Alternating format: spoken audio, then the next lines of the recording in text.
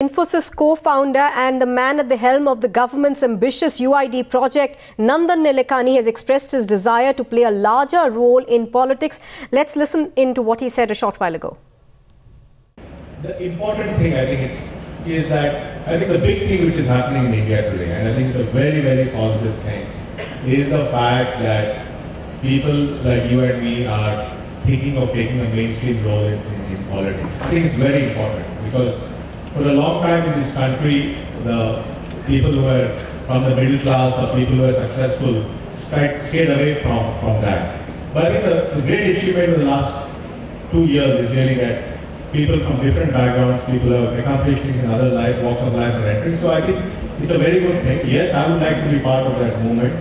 And I want to bring my 30, 35 years of cumulative experience and, and, and, and what I've been able to do in other fields to making life better for, for people. And I've come to the conclusion that finally, finally, the biggest lever of change in India is politics.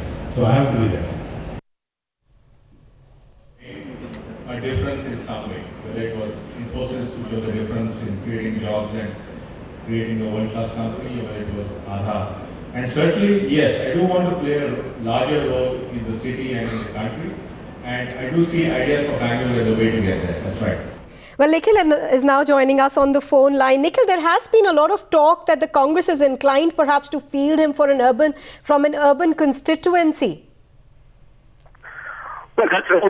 if you go by the moves that he has been making, like meeting senior leaders of the Congress in the state of Karnataka, it sure seems like uh, Mr. Nilekani has expressed his absolute interest uh, to be a part of the political fraternity. In all its likelihood, it is being said that uh, he must be contesting from the Bangalore South constituency. As uh, the electorate here is quite literate, and he is is a household name more or less because of his time with Infosys. In a constituency like Bangalore South, it is, it is either political history or current credibility that will win you votes. So he's up against a, a, strong BJP leader like Anant Kumar, who has already been uh, an MP from that constituency for five terms, this being the fifth. And he clearly has a, a challenging road ahead he is taking the right move and he is uh, now coming out with uh, a few of the initiatives which he believes will bring him closer to people, which might just give him this familiarity which is much needed if he is to go on to win an election in any case. So we should recollect that uh, his uh, former Infosys colleague, right. Mr. Mohandas Pai, had questioned his contribution to Bangalore. Here comes the answer in the form of an initiative, Ideas for Bangalore. Absolutely. Nikhil, thanks very much for that update.